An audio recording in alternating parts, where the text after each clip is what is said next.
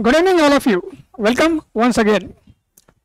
So, my friends, as we discussed yesterday, uh, one of the most exciting topics, eh, as far as our introduction to the medieval Indian history is concerned, we discussed about the Rajput kingdoms eh, and how the transition occurred from ancient history to medieval history, and how basically in a 750 AD to 1050 AD, okay, and especially up to 12th century AD, how these Rajput kingdoms played a major role. From 750 AD to 1050 AD, these Rajput kingdoms, as we discussed yesterday, they were very very powerful, and later on, gradually once the uh, outside invasion started, or foreign invasion started, then we started witnessing a decline of these Rajput kingdoms. And of course, the end result as far as this decline of the Rajput kingdom is that that ultimately we will see the establishment of a new empire in India. eh? We will see an establishment of a new empire in India, and that will be the empire of Delhi Sultanate, eh? as you can see in this picture. So, as I yesterday mentioned, when these Rajput kingdoms, जब इन Rajput kingdoms ने अलग अलग invasions और attacks देखे हैं, जो भारत पे हुए थे जिसको उन लोगों ने डिफेंड भी किया था जिसके खिलाफ रेजिस्टेंस भी पुट किया था हैं? उन अटैक्स में सबसे इम्पोर्टेंट था अरब्स के अटैक्स और अरब से भी ज़्यादा इम्पोर्टेंट थे और ज़्यादा घातक थे टर्क्स के अटैक तो अरब और टर्क ठीक ये दोनों एक रेसेस और कम्युनिटी है। जैसे I be saw yesterday Rajput itself was a community ठीक है? Rajput itself was a community तो वैसे ही अरब्स एंड टर्क्स वो भी एक कम्युनिटी है वो भी एक रेस है, जो आपकी मध्य एशिया, ठीक और पश्चिमी एशिया तथा हम बोल सकते हैं कि जो मिडल ईस्टर्न रीजन है, ठीक जो आज का सऊदी अरेबिया है उस रीजन से ये अरब्स एंड टर्क्स आए थे and because of that what we will witness because of that we will witness that due to the consistent invasions first by the arabs and then by the turks the rajput kingdoms of north india they got weakened eh? the rajput kingdoms of north india they got weakened and finally we will see the rise of new empire in india by turkish rulers. Eh? Very foreign invaders, जो बाहर से आक्रमणकारी आए थे, वो भारत में आ गए, भारत में बस गए। और फिर भारत में बसने के बाद उन्होंने एक नया साम्राज्य बनाया। और उस साम्राज्य को हम कहते हैं दिल्ली सल्तनत। This empire is called as a Delhi सल्तनत। So this is a brief introduction of the topic we are going to discuss today, और जैसे कल का टॉपिक बहुत ही एक्साइटिंग था इंटरेस्टिंग था, वैसे ही आज भी ये टॉपिक भी उतना ही एक्साइटिंग और इंटरेस्टिंग रहेगा?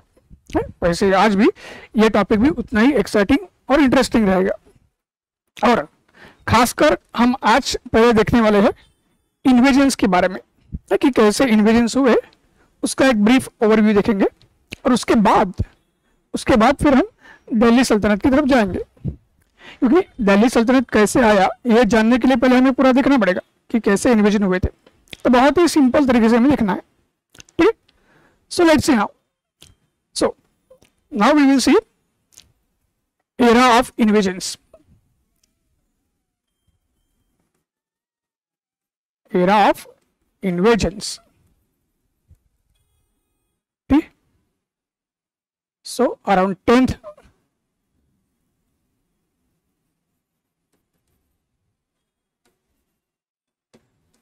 eighth century AD we have invasion by Arabs.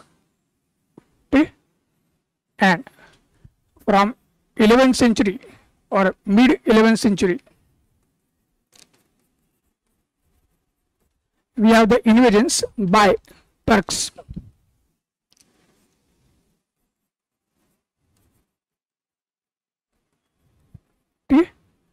So this point is very very important.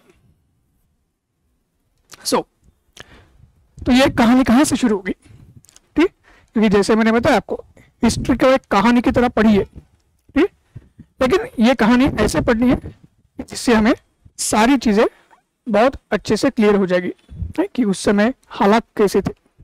Bharat की स्थिति क्या थी? ठीक? खास करके उत्तरी भारत, क्योंकि आक्रमण जो हो रहे हैं, वो उत्तरी भारत से होते उसका मैं एक आपको नमूना भी दिखाता हूँ।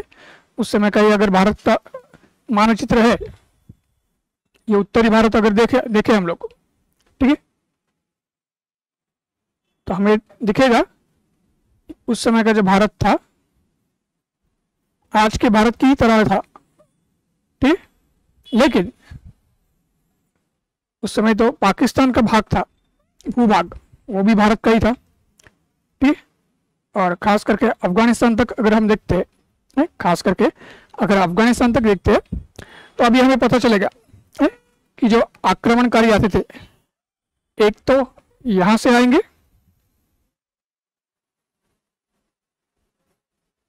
ठीक? जो हमारे अरब आ गए।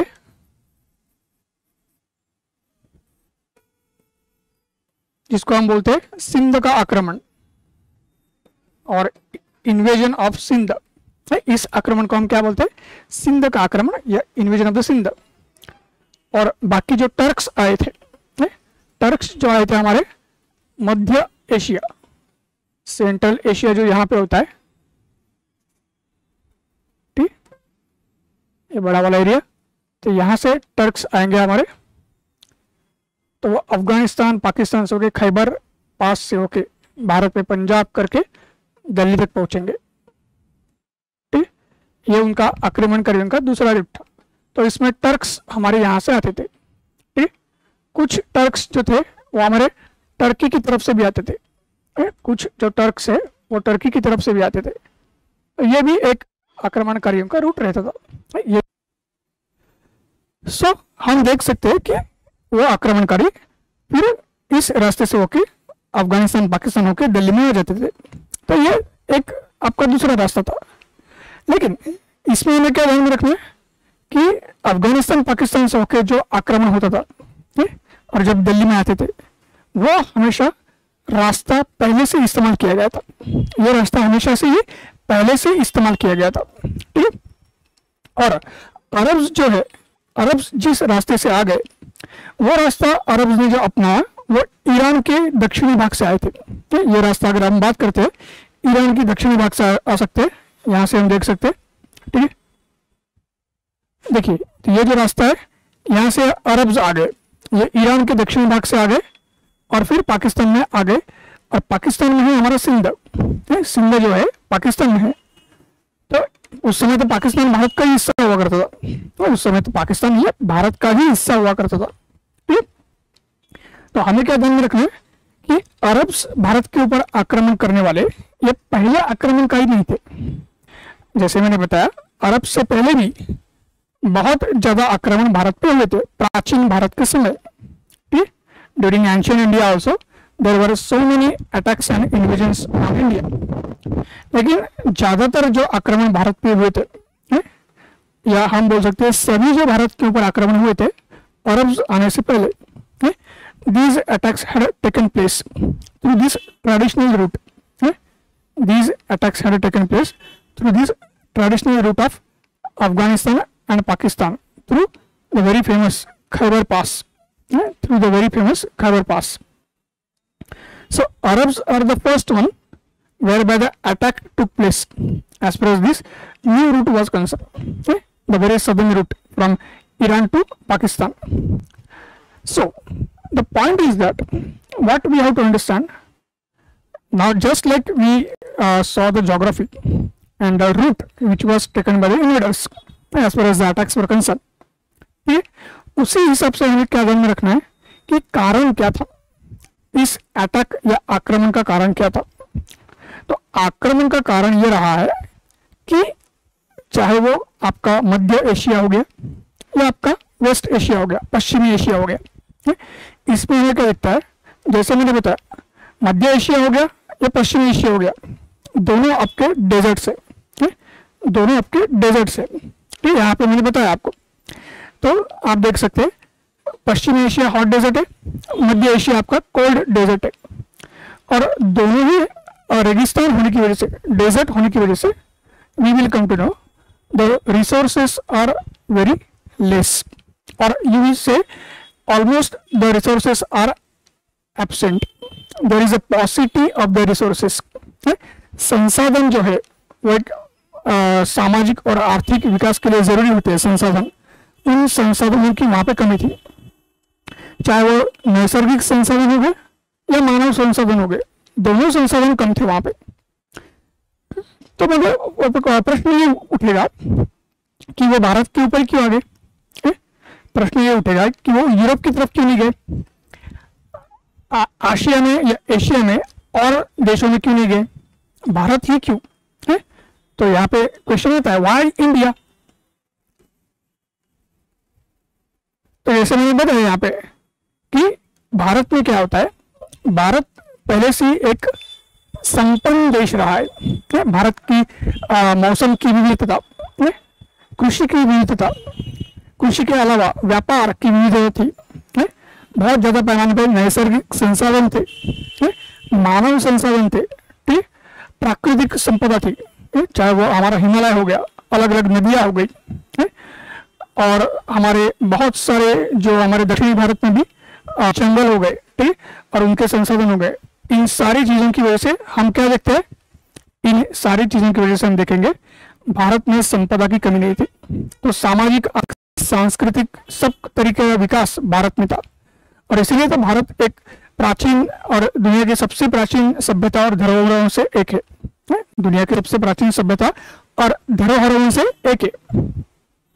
So because of that basically all these factors were lacking in this two areas all these factors were lacking in this two areas and social and economic development in this West Asia and Central Asia was always affected social and economic development of the West Asia and Central Asia was always affected. And because of that, you will see these people had no option but to uh, train their guns towards India.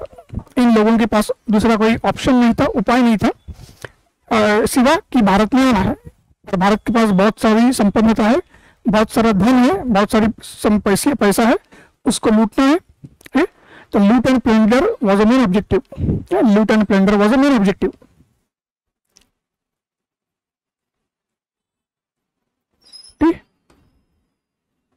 एक मुख्य उनका लक्ष्य था और फिर इस plunder और लूट को लेके इस धन को लेके संपत्ति को लेके जाके हमारे जो एरिया है मध्य एशिया और पश्चिमी एशिया वहाँ पे अपने विकास करना है तो वहाँ पे अपने विकास करना है ये उनका एक a mindset. Right? this was a mindset as far as this so called inhibitors were concerned. और उसके साथ और एक उसका उद्देश्य था, या लक्ष्य था। पहले जो आक्रमण हुए थे, ठीक पहले जो आक्रमण हुए थे भारत में, उस आक्रमणकारियों का जो उद्देश्य था ये वो ज़्यादातर यही रहा था, आर्थिक। क्योंकि पहले भी आक्रमणकारी इसी भूभाग से आते थे। खास करके मध्य एशिया से, ठीक? और ज़्यादातर उनका फोकस वही था कि आर्थिक कारणों की वजह से आक्रमण करना है और फिर हमारे जो देश है, हमारी जो भूमि है, उसको संपन्न करना है। लेकिन बहुत सारे आक्रमणकारी ये थे कि वो भारत से वापस चले ही नहीं गए। बहुत सारे आक्रमणकारी ऐसे थे कि जो भारत से वापस चले ही नहीं गए, वो तो भारत का ही एक हिस्सा बन गए। भारत की ही विविधता अगर बढ़ाई है सामाजिक विविधता Sanskritic Virtha. Okay? So that was increased or enhanced by the so-called earlier invaders okay? who had come in India for the purpose of livelihood and resource as well as plunder. But they became the part of India. Okay? But they became the part of India. But even though some of them brought, okay? even though some of them brought some kinds of, okay? even though some of them brought some kind of religious diversity to India right? even though some of them brought some kind of religious diversity to ठीक है तो अलग अलग जो उनके धार्मिक भावना और उनके जो विश्वास थे बिलीफ थे तो उसको वो अपने लेके आए थे। But it never became their objective it never became their objective that they wanted to enforce और they wanted to spread their religion throughout India Bharat में अपने धर्म का प्रचार करना है, प्रसार करना है, ठीक? भारत के लोगों को अपने धर्म में लाना है, ऐसा उनका कोई लक्ष्य नहीं था। ना you will see there was slight difference जब ये अरब्स आ गए और उसके बाद टर्क्स आ गए ये आर्थिक कारणों की वजह से ज़रूर आ गए, लेकिन आर्थिक कारणों के साथ साथ उनका एक उद्देश्य, या लक्ष्य ये भी था, ठीक? उनका एक उद्देश्य और लक्ष्य ये भी था कि उनको धर्म it is Islam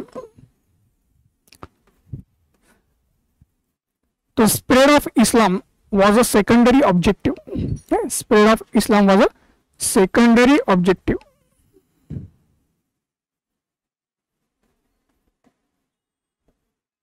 Okay. For all these invaders, yeah, there is Arabs and later Turks who came to India. Okay. Uh, some of them became a part of India. Many of them once again went back to their respective countries. Okay. कुछ भारत का हिस्सा बन गए लेकिन बहुत ऐसे थे आक्रमण किया आके चले गए ठीक लेकिन जो भारत में बस गए और जो भारत से चले भी गए उनका एक लक्ष्य कॉमन था एक लक्ष्य और एक उनका ये था कि अपने धर्म को स्थापित करना है इस्लाम जो नया धर्म उसका उदय हुआ था खास करके पश्चिमी एशिया में इस्लाम, जो पश्चिमी एशिया में उसका उदय हुआ था, ये तो around seven century AD D या हम बोल सकते हैं AD six twenty two Islam was born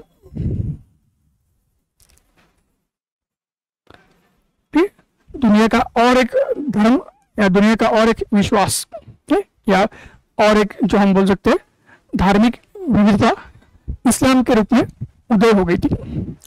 और अरब जो था मतलब अरेबिया जो था, और जहाँ पे ये अरब रहते थे, इनका पहले अपना कोई धर्म नहीं था, है? क्योंकि वो ज़्यादातर जनजाति का जीवन जीते थे। देवर ट्रैवल्स थे जो ज़्यादातर जनजाति का जीवन जीते थे, they were travels. They did not have any kind of religion as such okay? they did not have any kind of religion as such and because of that the, under the influence of islam. Okay? वो Islam के चपेट में आ गए इस्लाम उन्होंने अपना लिया था। और अभी उनका वो लक्ष्य बन गया कि जहाँ हम जाएँगे उसी देश में जाके आर्थिक कारणों की वजह से हम जाएँगे तो वहाँ पे धन संपदा भी ले लेंगे और फिर इस्लाम को भी हम फैलाएँगे।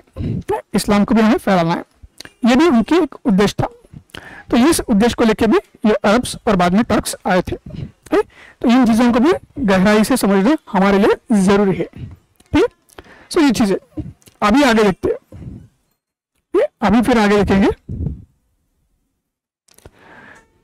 फिर हम देखेंगे, जैसे मैंने बताया कि अरब जो है, सत्रह, सात सौ बारह एडी में आए थे और मोहम्मद बिन कासिम। मोहम्मद बिन कासिम। इन्होंने अरब्स का नेतृत्व किया था। तो इन्होंने भारत में आने के बाद किसको हराया? ठीक? भारत में आने के बाद इन्होंने एक ब्राह्मण शाही रूलर थे।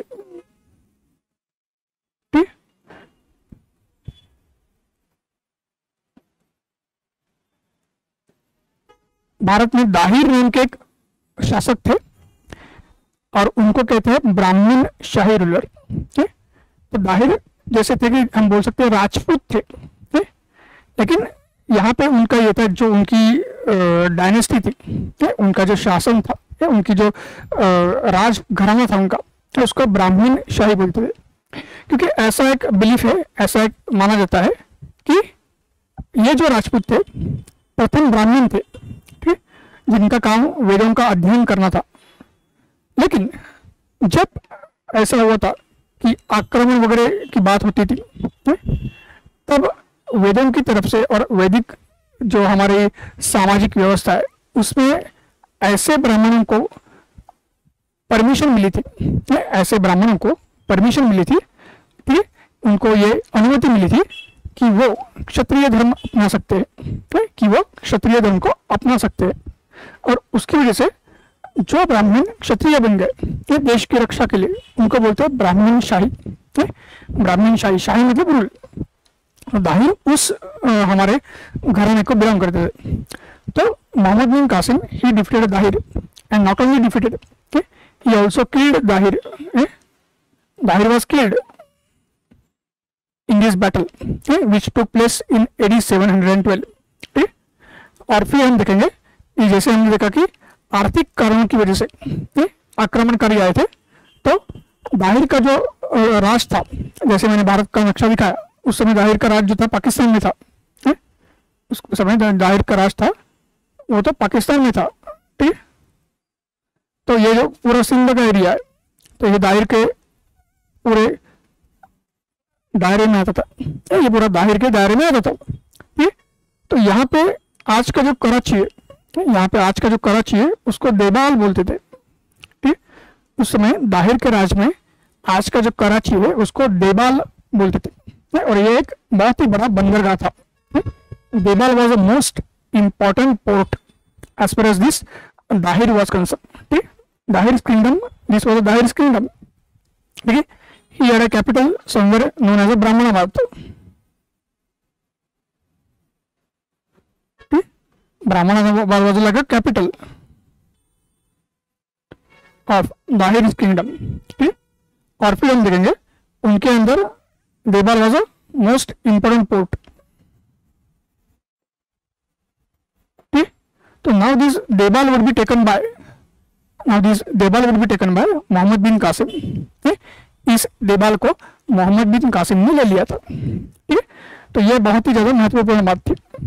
और देवाल को जब ले लिया तो पूरा जो वहाँ का व्यापार था the whole trade and commerce and economic resources of Dahir kingdom now they were in the hands of Muhammad bin Qasim ये पॉइंट बात में ध्यान में रखना है। फिर क्या हुआ? After this battle Qasim went back to Arabia और West Asia Qasim went back to Arabia और वेस्ट एशिया ठीक and the reason was that there was some internal issues as far as this West Asia was concerned. Okay, and the empire, okay, the empire from where this Qasim had come, okay, uh, Qasim had come as I told you from West Asia. So there was one empire in West Asia. Okay, there was one empire in a West Asia. Suppose if you see, this is like a Saudi Arabia. Okay, and this is like a India so there was an empire as far as this West Asia is concerned. So this is like a Turkey. This is your Iraq. This is Iran and others of the Arabian region.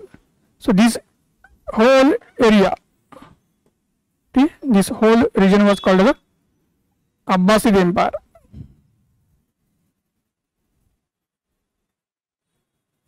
जहाँ से कासिम आए थे भारत में, इस empire को, इस साम्राज्य को, अब्बासिद साम्राज्य कहते थे।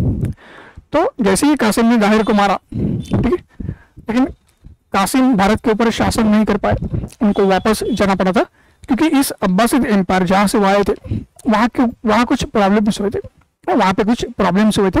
There were some issues with in Abbasid empire so Qasim went back and then you will see after this invasion ठीक Arabs had continued to attack India Arabs ने इंडिया के ऊपर अटैक कंटिन्यू किया था यहाँ से अटैक्स हुए थे अरब्स के।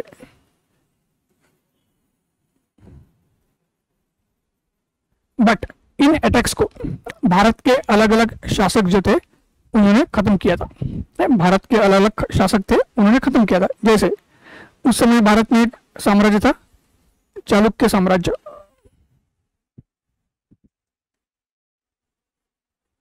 उनके एक राजा थे, विक्रमादित्य द्वितीय।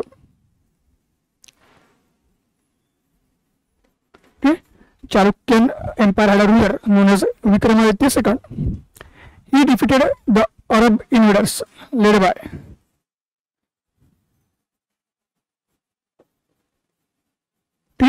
the Chalukyan ruler Vikramaditya second he defeated the Arab invaders led by Junaid of Sindh Qasim के बाद एक जो अरब को नेतृत्व किया था आ, उनका नाम था जुनेद। ठीक?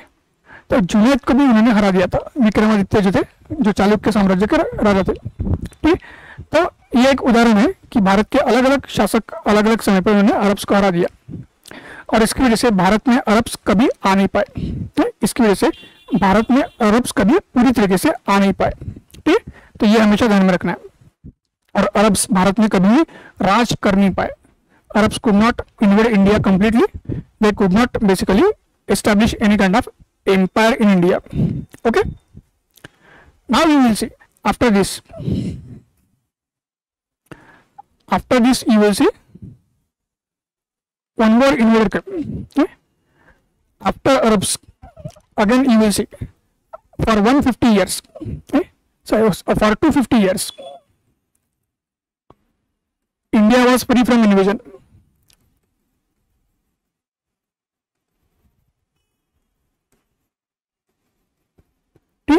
After Arabs, there was no invasion on India for 250 years.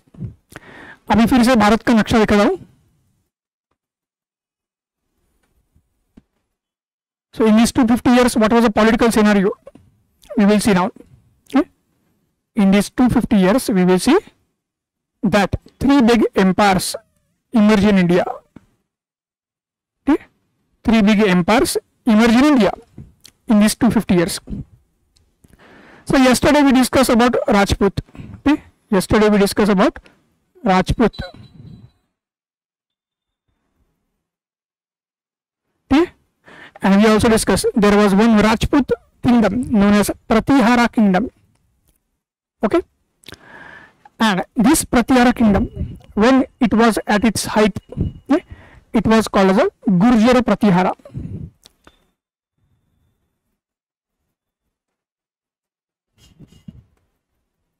It was called Gurjara Pratihara और उनका जो कैपिटल था उनकी जो राजधानी थी वो थी Kannauj.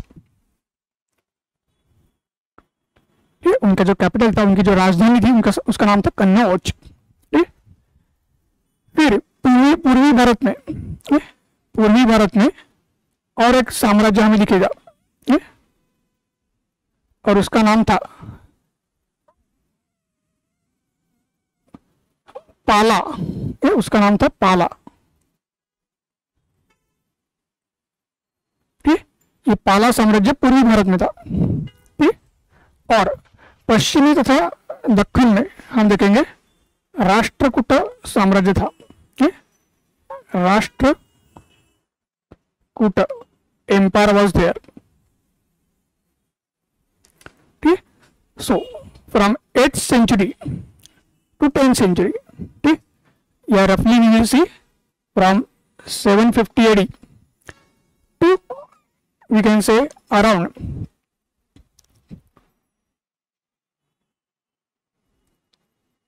eleven hundred AD For 250 years. In these 250 years, we will see that these three great empires emerge in India.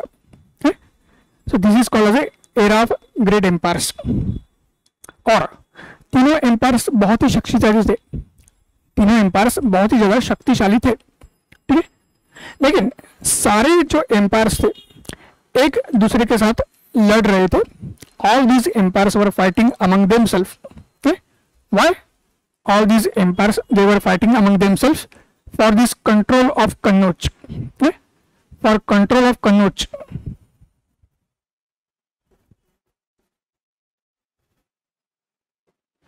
All these empires were fighting.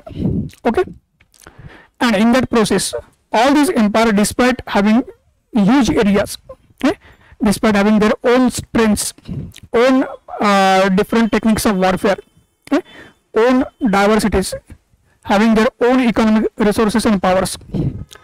All this was wasted among the infighting.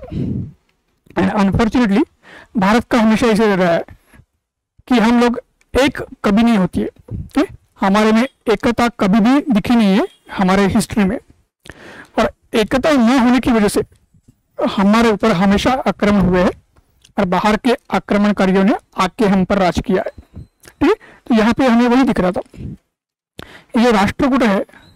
ये fort warfare में famous थे। ठीक? ये राष्ट्रकूट है। ये fort warfare में बहुत famous थे। गुर्जर प्रतिहारा, दुनिया का सबसे बड़ा कैवलरी और सबसे बेस्ट कैवलरी ये गुर्जर प्रतिहारा के पास थे। ये दुनिया के सबसे बेस्ट कैवलरी गुर्जर प्रतिहारा के पास थे। और पाला जो थे वो एलिफेंट वॉरफेयर के लिए फ़ेमस थे। पाला जो थे, वो एलिफेंट वॉरफेयर के लिए फ़ेमस थे। ठीक? बट उन्होंने अपनी अपनी शक्तियाँ अपने एक दूसरे के झगड़े में खत्म कर दी। और फिर हम देखेंगे लगभग जब आपकी ग्यारहवीं शताब्दी आ गई थी लगभग हमारी जब ग्यारहवीं शताब्दी आ गई थी ठीक यहाँ पे हम थोड़ा सा करेक्शन कर सकते हैं ठीक तो यहाँ पे हम देख सकते हैं कि यहाँ पे 1000 एडी लगभग हाँ हमारे जब ग्यारहवीं शताब्दी आ गई तब हम देखेंगे कि फिर से भारत के ऊपर आक्रमण होना शुरू हो गया। ए? फिर से भारत के ऊपर आक्रमण होना शुरू हो गया। ठीक और जो आक्रमण अभी शुरू हो गए उसका हम बोलते हैं टर्किश और गजनवी आक्रमण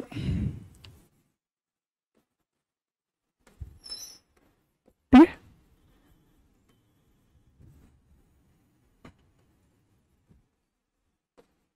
भारत के ऊपर जो आक्रमण अभी शुरू हो गए उनको हम बोलेंगे गजनवी इन्वेजन या गजनवी आक्रमण। क्यों? The person who invaded at this time his name was Mahmud Ghazni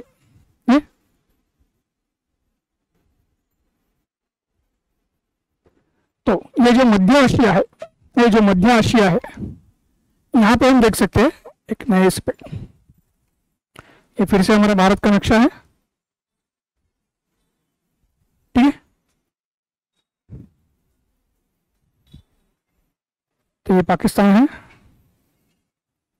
ये अफ़गानिस्तान है? यहाँ से ईरान होता है? और ये पूरा हमारा मध्य मध्य एशिया होता है। ये जो सेंट्रल एशिया है, यहाँ पे ये महमूद गजनी का साम्राज्य था। ठीक? गजनी एम्पायर ठीक और गजनी जो था उनका, राजधानी भी था। गजनी वाज लाइक कैपिटल तो उसकी वजह से हम देखेगा तो महमूद गजनी के नाम से, ये नाम पड़ा था राजधानी का। और गजनी एक ट्राइब थी। गजनी वाला tribe and India consistently so it is normally said there are evidences and references in history Eh? okay, that Mahmud Ghazni basically he invaded India for 17 times. Okay. He invaded India for 17 times, and basically he used to invade India okay, from the month of September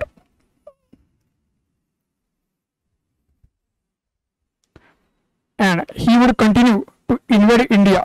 He would continue to invade India up to the month of April.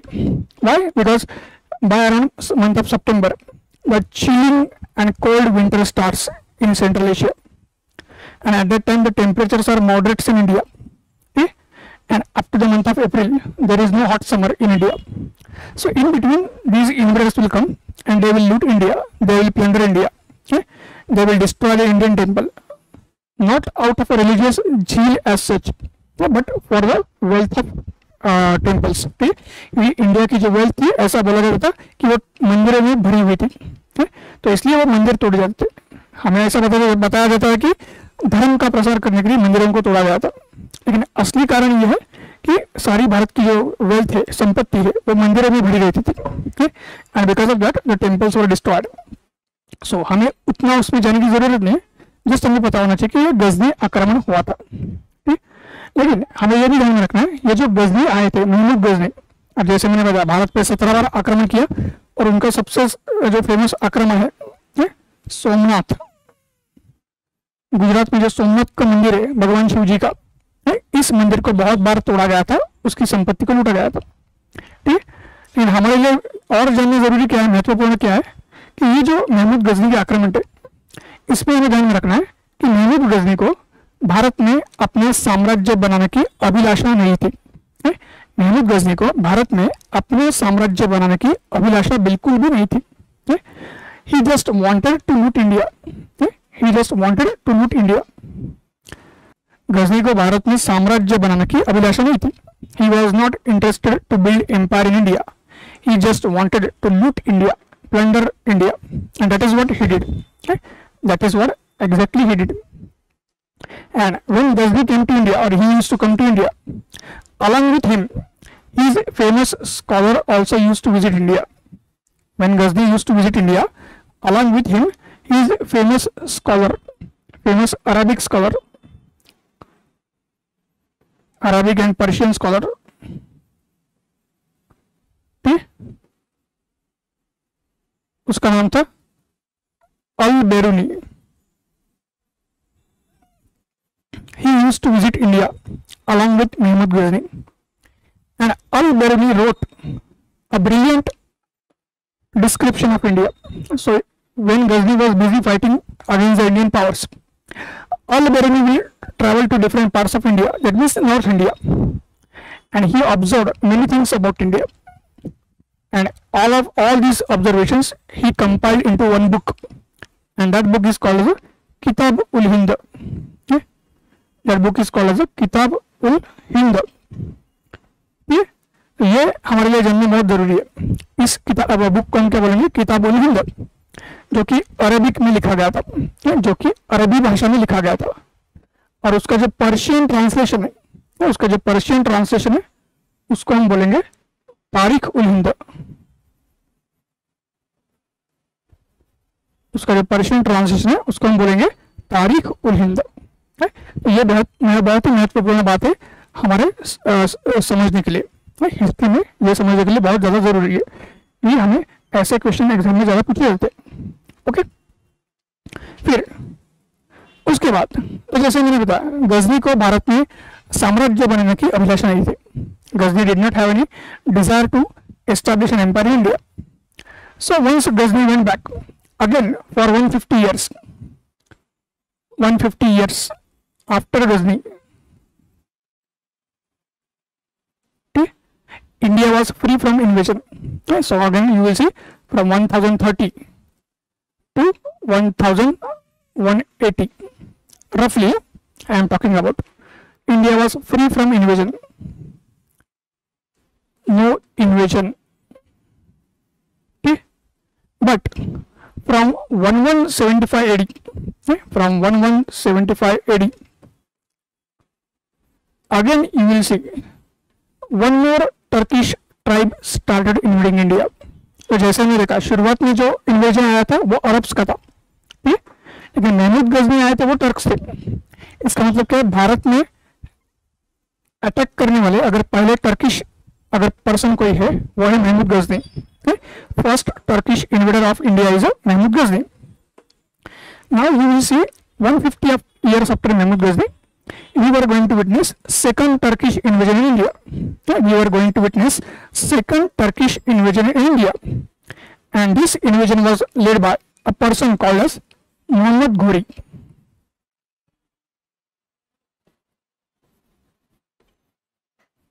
Okay, this invasion was led by a person called as Muhammad Ghori तो जैसे मैंने बताया as I told that Ghazni is a tribe. Similarly, Ghori is also a Turkish tribe. Okay, Just like Ghazni is a tribe, similarly, Ghori is also a Turkish tribe. And uh, now Muhammad Ghori, he had a clear objective of establishing the empire in India. Okay? Muhammad Ghazni, he did not have any objective to establish an empire in India, but Muhammad Ghori, he had a clear-cut objective to establish the empire in India. And with that objective only, he had started invading India. Okay? So he also invaded India multiple times. He also invaded India multiple times. So from around 1175 AD, okay, he had started invading India. And especially his first invasion was in Gujarat. तो जैसे हमने देखा Muhammad bin Qasim who had led the Arab invasion. Okay? Qasim had invaded in Sindh.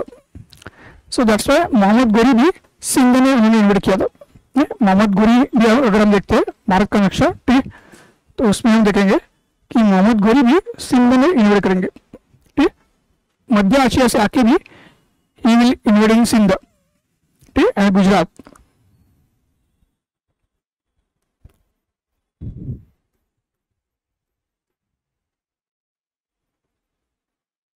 ठीक ये हमें ध्यान में रखना है। तो उन्होंने जो पंजाब और खैबर पास वाला रास्ता था, वो रास्ता अपनाया नहीं था। You have not basically adopted the traditional route of Punjab you are basically taken the route which was very different but in Gujarat in Gujarat basically Bhim Dev second was of rear in Gujarat basically Bhim Dev second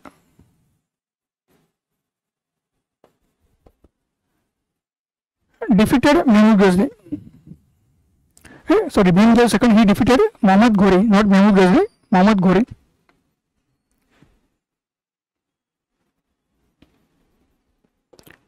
ठीक है? Around one one seven eight AD ग्यारह सौ अठहत्तर में महमूद गजनी मोहम्मद गौरी को भीमदेव द्वितीय ने हरा दिया था। तो ये जस्ट मैं जानने के लिए बता रहा हूँ इसको हमें कोई याद रखने की ज़रूरत नहीं। ठीक? तो गुजरात में क्या हुआ? भीमदेव द्वितीय और Bhimdev second he was ruler and he defeated Muhammad Ghori but Muhammad Ghori he did not lose his confidence Muhammad Ghori he did not lose his confidence अभी फिर से हम देखेंगे। ठीक? ये भारत का नक्शा है।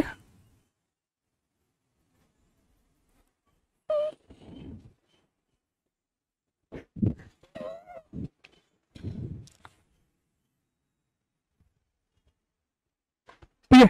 तो यहाँ पे हमने क्या देखा? पहली बार गुजरात से आए थे। फ़र्स्ट डिफीट मोहम्मद गोरी की। ठीक दूसरी बार फिर उन्होंने अटैक किया यहाँ से।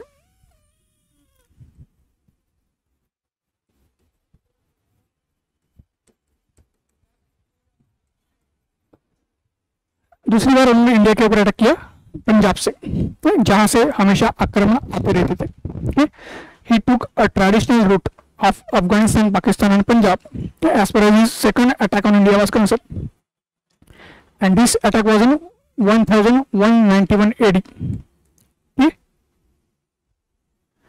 And in this attack you will see Muhammad Ghori, he, he had to face.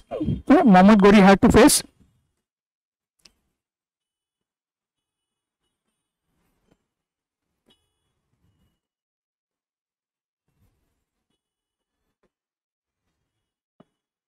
okay? Muhammad Gori had face the strongest the strongest ruler of India. Okay, At that time, India had a strongest Rajput ruler. Okay, His name was Prithviraj Chauhan, and he belonged to Chauhan dynasty.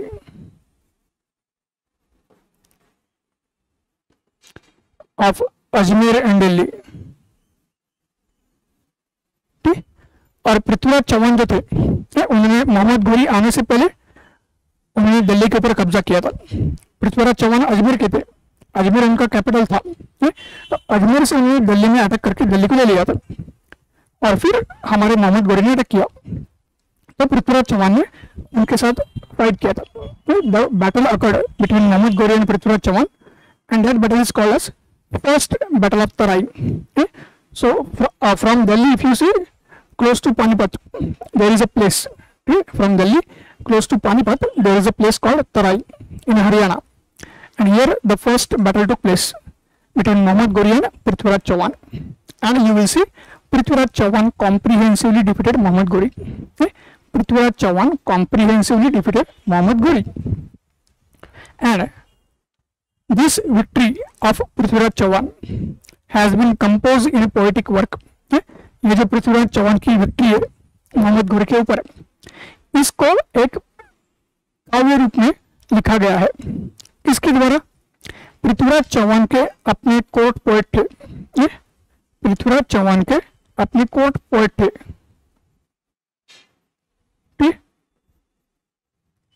Road तो उन्होंने पृथ्वीराज रासो, उन्होंने